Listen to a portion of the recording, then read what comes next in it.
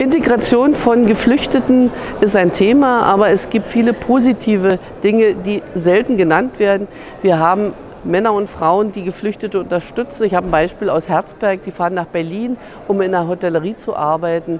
Ich halte es für gut, da machen Deutsche nicht mehr oder das andere in einer metallverarbeitenden Firma.